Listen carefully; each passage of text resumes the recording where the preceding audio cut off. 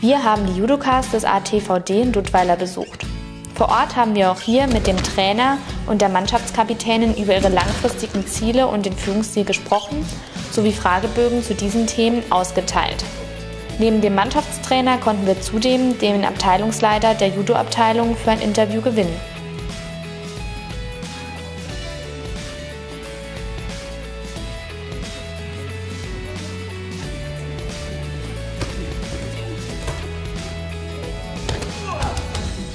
Wir haben nach den langfristigen Mannschaftszielen gefragt.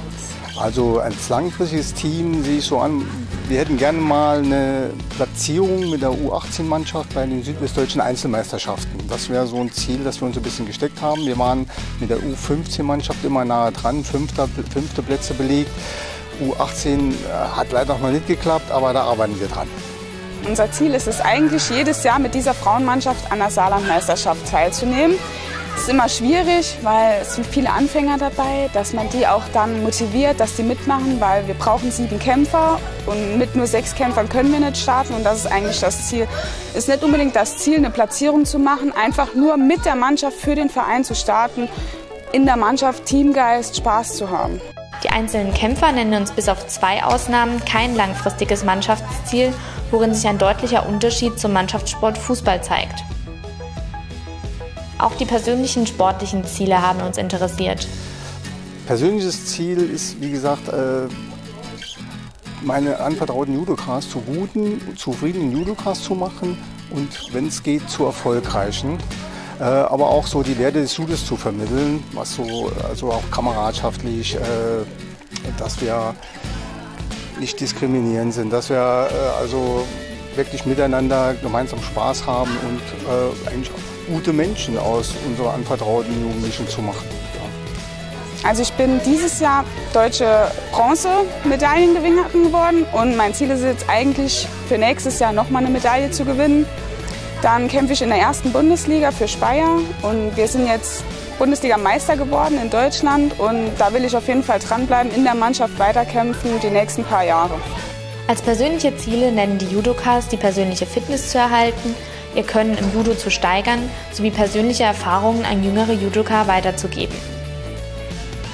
Trainer Klaus Mang hat uns erklärt, was seiner Meinung nach die drei größten Verpflichtungen eines Trainers gegenüber seiner Spieler sind. Verpflichtungen, das sehe ich so, dass, dass, ich, dass, dass ich Vertrauen aufbauen kann, äh, dass ich, wenn es gut läuft, vielleicht so eine kleine Vorbildfunktion habe.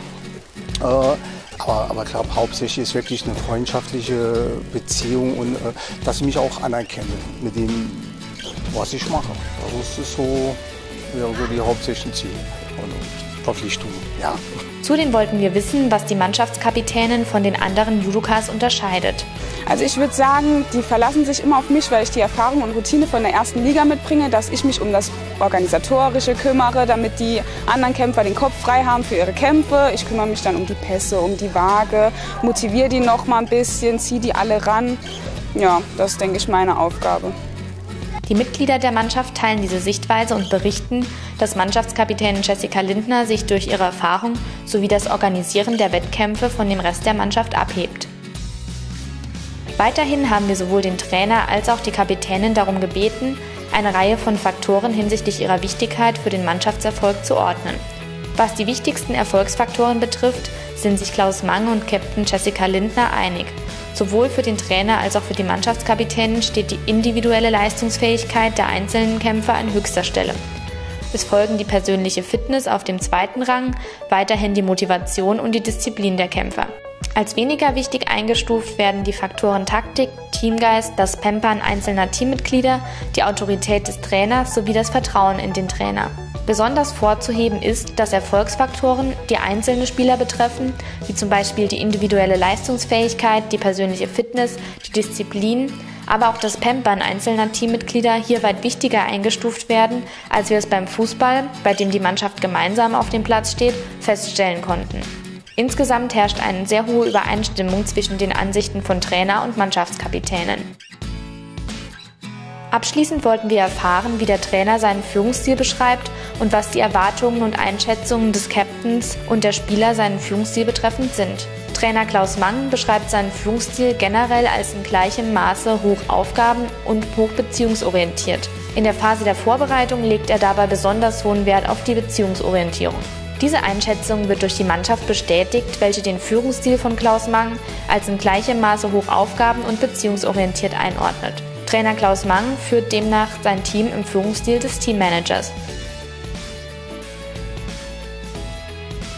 Dass unterschiedliche Trainer unterschiedliche Führungsstile anwenden, wird deutlich, als der Vorsitzende Herbert Wagner uns seinen Führungsstil als Trainer darlegt. Wenn die Fortgeschrittenen trainiere, bin ich, bin ich schon sehr meisterschaftorientiert.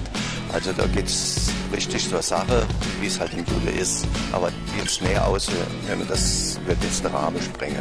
Zu dem, zu dem letzten, ich baue keine Beziehungen auf zu meinen Kämpfern. Das geht nicht. Ich bin dann ziemlich autoritär. Das ist so im Judo.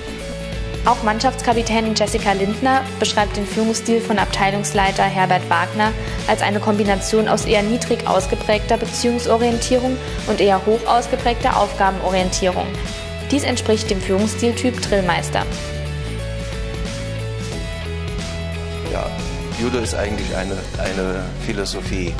Gewinnen, gewinnen durch Nachgeben heißt das. Und ich muss also mein, mein persönliches aufgeben, um zum Sieg zu kommen.